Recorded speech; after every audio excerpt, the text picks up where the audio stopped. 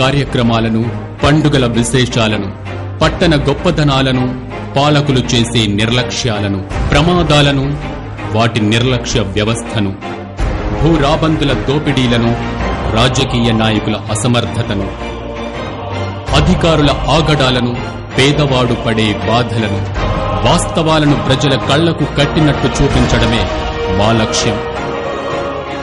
City cable news. ప్రజల చేతిలో ఆయుధం.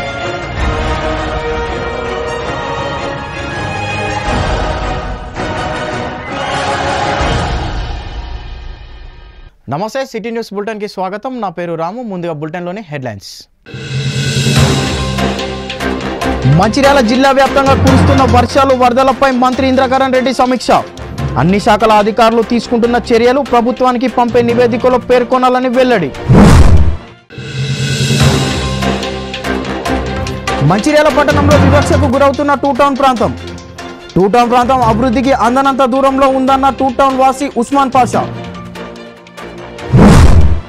మంచిర్యాల జిల్లా వ్యాప్తంగా కురుస్తున్న భారీ వర్షాలు వరదలపై మంత్రి ఇంద్రకరణ్ రెడ్డి జిల్లా అధికారులతో నస్పూర్లోని సింగరేణి గెస్ట్ హౌస్లో సమీక్ష సమావేశాన్ని నిర్వహించారు. జిల్లాలో నెలకొన్న పరిస్థితిని ఈ సమీక్షలో ఆయన చర్చించారు. వర్షాలు వరదలు తదనంతరం తీసుకుంటున్న చర్యలు తీసుకోవాల్సిన చర్యలపై చర్చించారు. భారీ వర్షాలు వరదల వల్ల జరిగిన నష్టంపై రాష్ట్ర ప్రభుత్వానికి నివేదిక సమర్పించాల్సి ఉందన్నారు. ఈ సమావేశానికి వచ్చిన అధికారులను పూర్తి వివరాలు ఇవ్వవలసిందిగా మంత్రి ఆదేశించారు. వ్యవసాయ ఆర్ అండ్ బి విద్యుత్ శాఖ పంచాయతీరాజ్ రెవెన్యూ శాఖ పరిధిలో జరిగిన నష్టం వివరాలు తెలుసుకున్నారు. భారీ వర్షాల వల్ల తలెత్తిన పరిస్థితి తీసుకుంటున్న పునరావాస చర్యలు తీసుకోవాల్సిన చర్యలు ప్రభుత్వానికి పంపాల్సిన నివేదికలో పేర్కొనాల్సిన అంశాలు తదితర విషయాలపై సమావేశంలో సమీక్ష జరిపారు.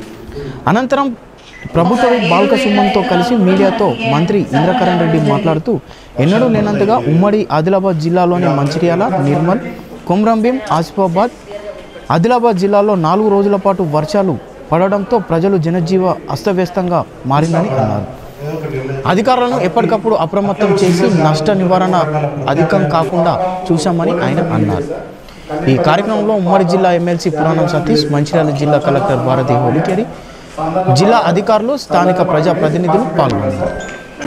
నష్టపోయినటువంటి మన జిల్లా వ్యవసాయ శాఖలో దాదాపు ఏడు వేల ఎకరాల వరకు నష్టం జరిగిందని చెప్పి ప్రాథమిక అంచనా వేయడం జరిగింది. అదేవిధంగా ఆర్ఎండ్బి రోడ్స్ కానీ పంచాయతీరాజ్ రోడ్స్ ఎలక్ట్రిసిటీ డిపార్ట్మెంటు మరియు మిషన్ భగీరథ మరియు రెవెన్యూ డిపార్ట్మెంటు అదేవిధంగా ఎనిమల్ హస్బెండరీ అన్ని డిపార్ట్మెంట్లో మనము ఏ డిపార్ట్మెంట్ ఎంత నష్టం జరిగిందో అదంతా కూడా ప్రజలకు రెస్టోర్ అయిందా లేదా మళ్ళీ? మరి సదుపాయాలను కూడా ఫెసిలిటీస్ అన్ని యథావిధంగా కొనసాగుతున్నాయా? ఎవరికి ఇబ్బంది కలగకుండా మనందరూ కూడా డిపార్ట్మెంట్ వైజ్ కలెక్టర్ గారు ఈ వర్షము సూచన జరిగినప్పటి నుంచి వారు కూడా హెడ్ క్వార్టర్లో ఉండి అందరు జిల్లా హెడ్ క్వార్టర్ అందరూ కూడా జిల్లా ఆఫీసర్స్ అందరినీ అలర్ట్గా ఉండడం మూలంగా ఎవరి పరిధిలో వాళ్ళు ఉండి గ్రామ స్థాయిలో సర్పంచ్తో పాటు సెక్రటరీ కూడా అక్కడ ఉండడము దీనివల్ల నష్టం మనకు బాగా తక్కువ జరిగింది. ఏదేమైనా కానీ ప్రజలకు అన్ని డిపార్ట్మెంట్లు అందుబాటులో ఉండి కష్టకాలంలో మనం వెంబడి ఉంటే మనకు అన్ని రకాలుగా మనకు సాయం చేసేట్టు ఉంటుంది కాబట్టి గౌరవ ముఖ్యమంత్రి గారు మరి ఇచ్చినటువంటి ఆదేశం కలెక్టర్స్ అందరూ కూడా అందుబాటులో ఉండి మీ జిల్లా అధికారులను కూడా అందుబాటులో ఉంచుకొని ఎక్కడ ఎటువంటి సంఘటన జరిగినా మీరు అక్కడికి తక్షణమే అక్కడ సాయం చేసే కార్యక్రమం చేయమని చెప్పి చెప్పడం జరిగింది. కలెక్టర్ గారు అధికారులందరూ కూడా బాగా శ్రద్ధగా పనిచేసేందుకు ప్రభుత్వం తరఫున వారికి డిపార్ట్మెంట్ అందరికీ కృతజ్ఞతలు తెలియజేస్తున్నాను. అన్ని డిపార్ట్మెంట్ మా ప్రజాప్రతినిధులు కూడా గౌరవ శాసనసభ్యులు ఎమ్మెల్సీ గారు అదేవిధంగా మున్సిపల్ చైర్మన్లు కౌన్సిలర్లు జడ్పీటీసీలు మండల ప్రెసిడెంట్లు కోఆపరేటివ్ ప్రతి ఒక్కరు కూడా ప్రజాప్రతినిధులు కూడా ఫీల్డ్లో ఉండి వారు కూడా ఎప్పటికప్పుడు మరి వరద వరదలు రైతులకు కానీ అక్కడ ఉన్న ప్రజలకు కానీ ఎంతో సహాయ సహకారం అందించడం జరిగింది. ఎక్కడైతే ఇళ్ళలో నీళ్ళు వచ్చినాయో మరి వాళ్ళకు బియ్యం ఇవ్వడం కానీ వాళ్ళకి ప్రభుత్వం జీవో ప్రకారంగా వాళ్ళు డబ్బిచ్చే ఇచ్చే కార్యక్రమంగా ఉంది అది కూడా ఉంది. ఇద్దరు మనుషులు చనిపోయినారు. అదేవిధంగా ఒక నాలుగు గేదెలు చనిపోయినాయని చెప్పి రిపోర్ట్ చేయడం జరిగింది. వాళ్ళకి వాళ్ళకు కూడా మరి నష్టపరిహారము ఇవ్వడం కూడా జరుగుతుంది. అది కలెక్టర్ గారి ఆధ్వర్యంలో పరిశీలన చేసి తొందరగానే ముగిస్తారు.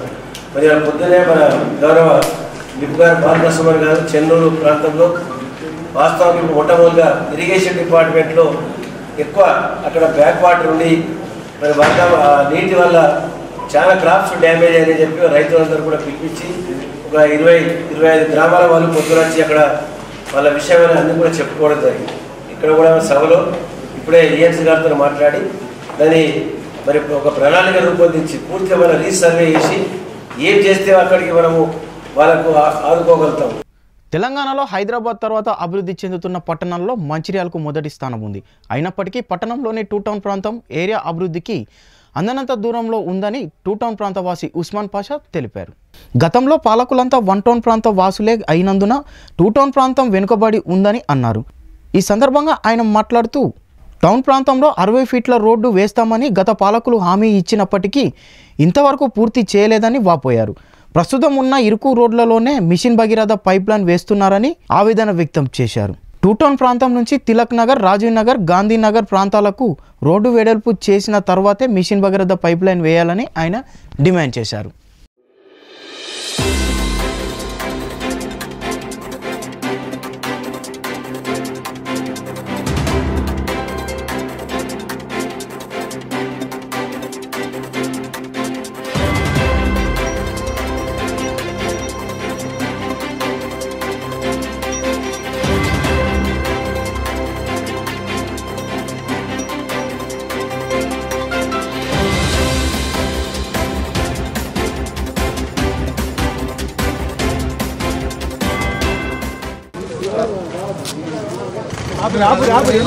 మన తెలంగాణ రాష్ట్రంలోనే హైదరాబాద్ తరువాత త్వరితగతిన అభివృద్ధి చెందుతున్న టౌన్ ఏదైనా ఉన్నదంటే అది మన మంచిర్యాల అని మనం గర్వకారణంగా చెప్పుకోవచ్చు. కానీ ఇదే మంచిర్యాలలో ఏదైతే ఉమ్మడి ఆంధ్రప్రదేశ్లో మన తెలంగాణ ఏ విధంగా వివక్షకు గురైందో అదేవిధంగా ఇక్కడ మన మంచిర్యాల టౌన్లో కూడా మన టూ టౌన్ ప్రాంతం ఏదైతే ఉందో అది వివక్షకు గురవుతూ ఉంది. మనము మన Mancherial town one town two town అంటే గేట్ అవతల వన్ టౌన్గా గేట్ అవతల టూ టౌన్గా అనుక అనుకున్నట్లయితే ఇంతకుముందు పరిపాలించిన ఎవరైతే పాలకులు ఉన్నారో వాళ్ళందరూ కూడా వన్ టౌన్ ప్రాంతానికి చెందిన వారు అవడం వలన ఇక్కడ టూ టౌన్ ప్రాంతము మొత్తము వివక్షకు గురైంది. అభివృద్ధికి చాలా దూరంలో ఉన్నది. అలాంటి ఈ టూ టౌన్ ప్రాంతానికి కావాల్సిన ముఖ్య సౌకర్యాలలో వంద ఫీట్లు ఏదైతే వంద ఫీట్ల రోడ్డు మరియు ఈ గేటు దగ్గర నుండి తిలక్ నగర్కు వెళ్ళే అరవై ఫీట్ల రోడ్డు అదే గేటు దగ్గర నుండి గాంధీనగర్ రాజనగర్కు వెళ్ళే అరవై ఫీట్ల రోడ్డు మరియు అదే వసంత టాక్సీ మీదుగా బ్రిడ్జ్ దగ్గరికి వెళ్ళే రోడ్డు ఈ మూడు ముఖ్యమైనవి. తర్వాత మాకు ఫ్లైఓవర్ కావాలనుకున్నాము కానీ ఆ ఫ్లైఓవర్ ఫిజిబిలిటీ లేదని అండర్ గ్రౌండ్ బ్రిడ్జ్ అన్నారు. సరే మేము అండర్ గ్రౌండ్ బ్రిడ్జ్తో కూడా సంతోష సంతోషంగానే ఉన్నాము. ఆ తర్వాత మీకు అరవై ఫీట్ల రోడ్లు డెవలప్ చేస్తాము సెంట్రల్ లైటింగ్ సిస్టమ్ ఏర్పాటు చేస్తామని చెప్పిన ఏదైతే పాలకులు ఉన్నారో వారు ఆ విషయాన్ని పక్కన పెట్టేసి ఈ మధ్య కాలంలో ఈ మిషన్ భగీరథ పైపులను ఉన్న ఈ ఇరుకైన ముప్పై ఫీట్ల రోడ్లలో వేస్తున్నారు. ఈ ముప్పై ఫీట్ల రోడ్లలో ఇరుకైన ఈ రోడ్లలో ఈ మిషన్ భగీరథ పైపులు వేయడం వలన మీరు ఇప్పుడు వీడియో తీసుకొనే చూస్తున్నారు. మా ఎంతమంది ఆగాల్సి వస్తుందో కనీసం బైకులు పోవడానికి కూడా ఇబ్బందికరంగా మారినది. ఏదైతే టూ టౌన్ ప్రజల చిరకాల కోరిక ఫ్లైఓవర్ ఉండేనో దాన్ని కొబ్బరికాయలు కొట్టి ఆ తర్వాత క్యాన్సిల్ చేయడం జరిగింది. సరే దాని దాని క్యాన్సిల్ చేసి అండర్ బ్రిడ్జ్ అనేది ఒకటి నిర్మాణం చేస్తున్నారు. వాస్తవంగా టూ టౌన్ ప్రజలు ఎవ్వరు కూడా అండర్ బ్రిడ్జ్ ఎవరు కూడా కోరుకోలేదు దాన్ని ఎవరు కూడా అడగలేదు. దానికి కావాల్సింది మా టూ టౌన్ ప్రజలకు కావాల్సింది ఫ్లైఓవర్. ఇది దాన్ని అది ఇప్పుడు చేస్తున్నది అయితే శాశ్వత పరిష్కారం కాదు అది ఉపశమనం మాత్రమే. సరే ఏదో ఒక గుడ్డిలో మెల్లలాగా ఒక అండర్ బ్రిడ్జ్ అనేది నిర్మాణం చేసి అదేదో గొప్ప పాలకులు దాన్ని గొప్పగా చిత్రీకరించి చెప్పడం జరుగుతున్నది.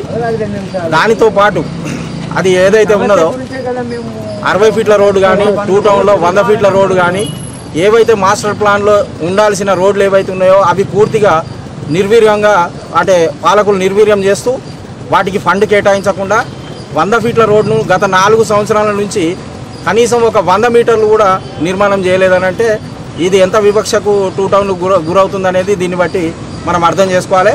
టూ టౌన్ ప్రజలందరూ అమాయకులుగా అనుకుంటున్నారు. అందుకనే అది ఫ్లైఓవర్ క్యాన్సిల్ చేసి అండర్ బ్రిడ్జ్ చేసినా ఎవరు సపోర్ట్ చేయలేదు.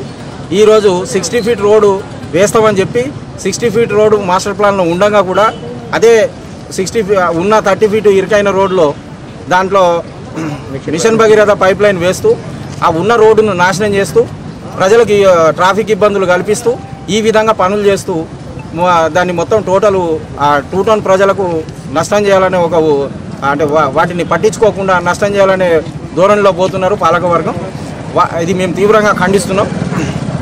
అదేవిధంగా సిక్స్టీ ఫీట్ రోడ్డు ఏదైతే మాస్టర్ ప్లాన్లో ఉందో నేను గ- గతంలో మేము ఈ మున్సిపల్ కౌన్సిల్ ఏర్పాటు అయినాక మేము మొట్టమొదట ఈ వీటినే టూ టౌన్ డెవలప్ కావాలంటే ఖచ్చితంగా రోడ్ల డెవలప్మెంట్ కావాలి అనేది మేము డిమాండ్ చేయడం జరిగింది మా కాంగ్రెస్ పార్టీ కౌన్సిలర్ల తరఫున.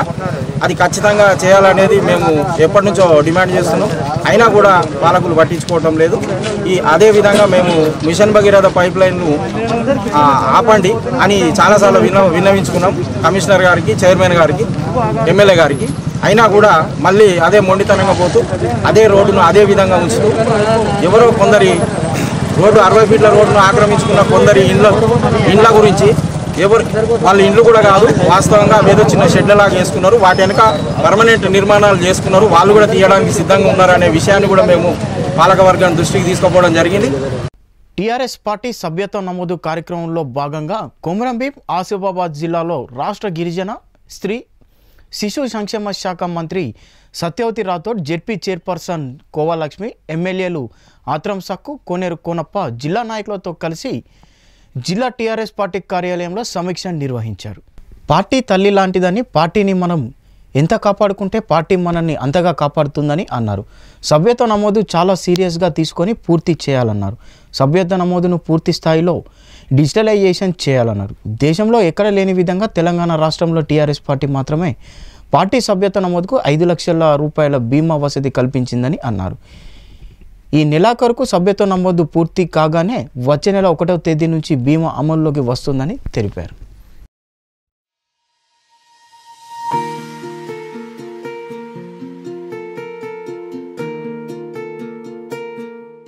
భారతీయ జనతా పార్టీ ఆధ్వర్యంలో చెలో సుబ్బారావుపల్లె కార్యక్రమం నిర్వహించారు. ఈ సందర్భంగా పట్టణ అధ్యక్షుడు కోడి రమేష్ మాట్లాడుతూ తాండాలను గ్రామ పంచాయతీలు చేస్తానని గద్దెనెక్కిన టీఆర్ఎస్ ప్రభుత్వం బెల్లంపల్లిలో తొమ్మిదో వార్డులో భాగమైన సుబ్బారావుపల్లె తాండా కన్నా అధ్వానమైన స్థితిలో తీసుకువచ్చారని ఆరోపించారు. సమస్యలు పరిష్కరించని పక్షంలో వార్డు ప్రజలతో కలిసి భారతీయ జనతా పార్టీ మున్సిపల్ కార్యాలయం ఎమ్మెల్యే క్యాంపు కార్యాలయం ముట్టడి చేస్తామని హెచ్చరించారు. ఈ కార్యక్రమంలో జిల్లా కార్యవర్గ సభ్యులు సబ్బాని రాజనర్సు ఎస్సీ మోర్చా జిల్లా ఉపాధ్యక్షుడు ఎరుకల శ్రీనివాస్ సీనియర్ నాయకులు ఎస్సీ మోర్చా జిల్లా కార్యదర్శి కోడి సురేష్ రావెల్లి రాజలింగు పట్టణ ఉపాధ్యక్షులు మేకల రాజశేఖర్ కాసర్ల యాదగిరి కార్యదర్శి మహేష్ మహిళా మోర్చా పట్టణ అధ్యక్షురాలు కళ్యాణి పట్టణ ఎస్సీ మోర్చా ఉపాధ్యక్షురాలు అనిల్ పట్టణ ఎస్సీ మోర్చా ఉపాధ్యక్షులు అనిల్ తదితరులు పాల్గొన్నారు.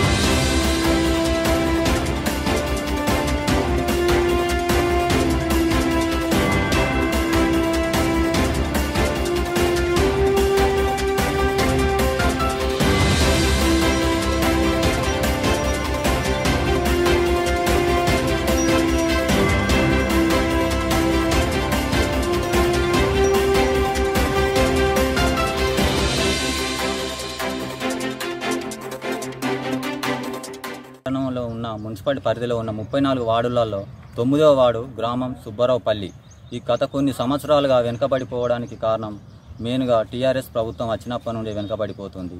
మరి ఒక రోడ్డు సమస్య లేదు నీటి సమస్య లేదు ట్యూబ్లైట్ సమస్య లేదు.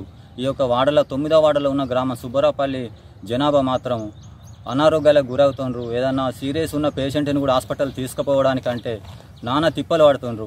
ఇటు ఇట్లా పేషెంట్ని ఏదైనా రోగం నొప్పి వచ్చి పేషెంట్ని తీసుకొని ట్రాక్ నుంచి దాటుదాం అనే లోపే ట్రైన్ అడ్డం వస్తుంది. ట్రైన్ అడ్డం వచ్చి ఆ పేషెంట్ని పట్టుకొని ట్రైన్ వెళ్ళిపోయేంత వరకు వెయిట్ చేసి అంబులెన్స్కు అటోకు చెప్పే లోపే పేషెంట్ చనిపోయిన సందర్భాలు కూడా జరిగినాయి కూడా కొంతమంది. ఒక ఐదారుగురు పేషెంట్లు కూడా చనిపోయిండ్రు.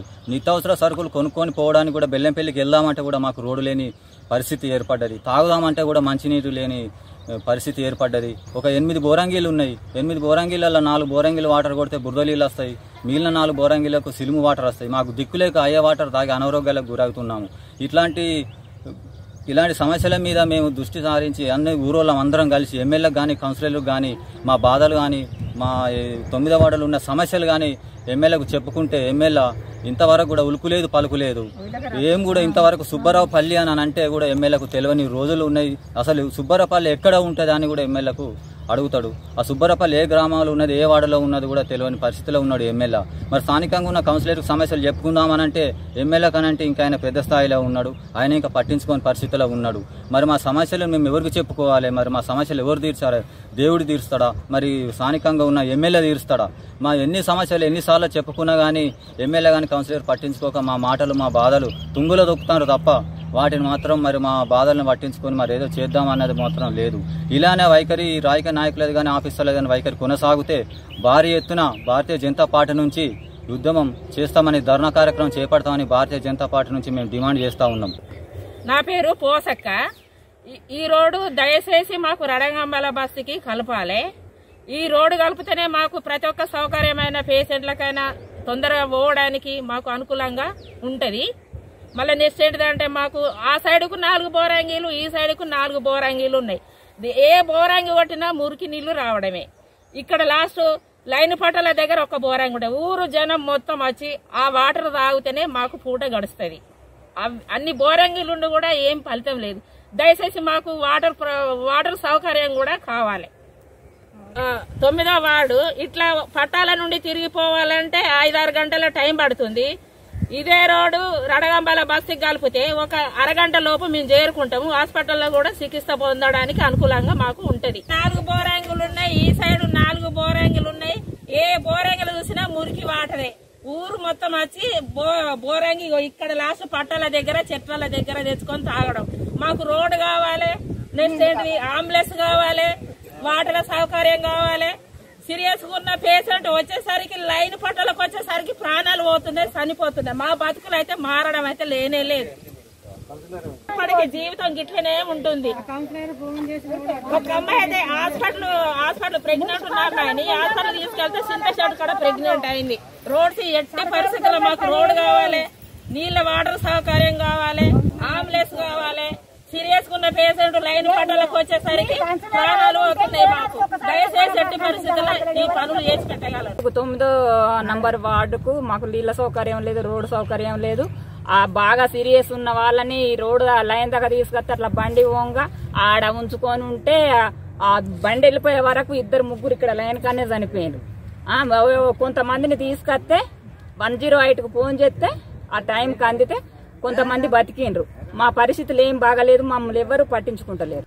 బెల్లంపల్లి మండలంలోని సోమగుండం భారత్ కాలనీ గ్రామ పంచాయతీ పల్లె ప్రకృతి వనాన్ని Panchayati Raj AE Paramjyoth EGS APO Janath sarpanch Pramila గౌడ్లతో కలిసి పరిశీలించారు.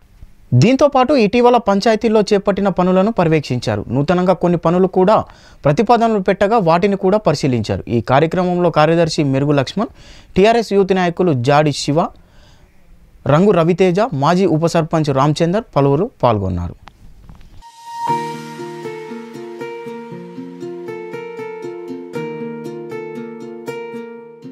ఏళ్ళ తరబడి పరిష్కారం కాని సమస్యలను దశల వారీగా పరిష్కరిస్తూ సోమగూడెం పంచాయతీ అభివృద్ధికి కృషి చేస్తున్నామని సోమగూడెం సర్పంచ్ ప్రమీలగౌడ్ పేర్కొన్నారు. బుధవారం బెల్లంపల్లి మండలం సోమగూడెం భరత్ కాలనీ పంచాయతీలోని కాలనీలో రోడ్లు లేక ఇబ్బంది పడుతున్నామని పారిశుద్ధ లోపం పందులు పాములతో ఇబ్బందులు పడుతున్నామని స్థానిక మహిళలు ఆరోపణలు చేసి నేపథ్యంలో సర్పంచ్ ప్రమీల గౌడ్ అధికారులతో కలిసి పరిశీలించారు. సోమగూడెంలో ఏళ్ళ తరబడి సమస్యలు అలాగే ఉన్నాయని గత పాలకులు పట్టించుకోకపోవడంతో అన్ని సమస్యలు ఎక్కడికక్కడే ఉండి పోయాయని పేర్కొన్నారు. సర్పంచ్ అయి రెండు సంవత్సరాల నుంచి అన్ని ప్రాంతాల్లో రోడ్లు వేస్తున్నామన్నారు. ఇక్కడ గత పాలకుల నిర్లక్ష్యంతో కాలేదని ఇప్పుడు తమ హయాంలో రోడ్డు వేస్తామని ఆమె తెలిపారు. ఈ సందర్భంగా కాలనీ మహిళలు మాట్లాడుతూ సర్పంచులు తమ సమస్యలు పరిష్కరిస్తామని హామీ ఇచ్చారని దీంతో పాటు వెంటనే పనులు మొదలుపెట్టి సమస్యను వెంటనే పరిష్కరిస్తున్న సర్పంచ్కు కృతజ్ఞతలు తెలిపారు. ఈ కార్యక్రమంలో మెరుగు లక్ష్మణ్ టీఆర్ఎస్ యూత్ నాయకులు జాడి శివ రంగు రవితేజ మాజీ ఉప సర్పంచ్ రామచందర్ స్థానిక మహిళలు పాల్గొన్నారు. గ్రామ పంచాయత్. చాలా రోడ్లు కూడా కాలువలు కూడా పిచ్చి చెట్లు అయితే విపరీతంగా ఉన్నాయి. మరి రోడ్ల పొంట అవన్నీ క్లీన్ చేసుకుంటా ఒకటి తర్వాత ఒకటి పని చేసుకుంటా వస్తున్నాము. మరి గెలిచినప్పటి నుండి మేము గెలిచి రెండు సంవత్సరాల కాలం నుండి మరి ఒక్క రోజు కూడా ఆరు గంటలకు మొదలు పెడితే సాయంత్రము ఆరు కూడా మా మట్టి పర్పస్ వర్కర్లు మా సెక్రటరీ గారు మరి నేను మరి కొంతమంది మా కార్యకర్తలు కూడా పాల్గొని ఇక్కడ ఉన్నది అక్కడ ఉన్నదని చూపెట్టుకుంటా అన్ని కాలువలు సాఫ్ చేపించడం మరి రోడ్ల మీద కూడా పిచ్చి చెట్లు ఉంటే రోజు రోజు అవి మొత్తం క్లీన్ చేపిస్తున్నాము. మరి శానిటేషన్ మాత్రం బాగా ఇక్కడ సొమ్ముగూడెం భరత్ కాలనీ మేజర్ గ్రామ పంచాయతీ కాబట్టి చేస్తూనే ఉన్నాం మళ్ళీ మొలుస్తూనే ఉన్నది. అయినప్పటికైనా కానీ మేము ఖచ్చితంగా ఇదంతా నీట్గా చేస్తాము రోడ్డు ఒకదాని తర్వాత ఒకటి రోడ్లు కూడా వేసుకుంటూ వస్తాము మరి అది కూడా ఈ రోడ్డు కూడా చేయడానికి మొన్న ఇరవై రెండు తారీఖు వర్షంలో వచ్చి మొత్తం ఈ అంతా పిచ్చి చెట్లు ఉండే ఇవన్నీ తీపిచ్చికుంటా గొడుగులు పట్టుకొని తీపించుకుంటా నీట్గా చేసినాం.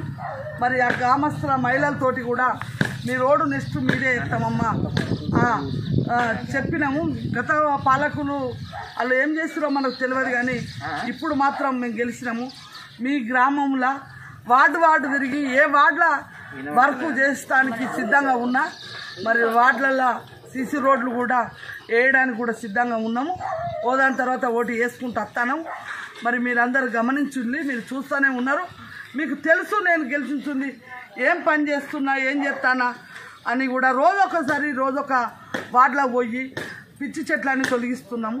మరి ఇదైతే మీ అందరు చూసిన సత్యము. మరి సమస్యలు ఉంటే నాకు ముందు చెప్పి నాకు తెలియజేసి మీరు నేను ఆ దానికి స్పందించి పని చేయడానికి సిద్ధంగా ఉన్నాము. వార్తలు ముగించే ముందు హెడ్లైన్స్ మరోసారి. మంచిర్యాల జిల్లా వ్యాప్తంగా కురుస్తున్న వర్షాలు వరదలపై మంత్రి ఇంద్రకరణ్ రెడ్డి సమీక్ష. అన్ని శాఖల అధికారులు తీసుకుంటున్న చర్యలు ప్రభుత్వానికి పంపే నివేదికలో పేర్కొనాలని వెల్లడి. మంచిర్యాల పట్టణంలో వివక్షకు గురవుతున్న టూ టౌన్ ప్రాంతం.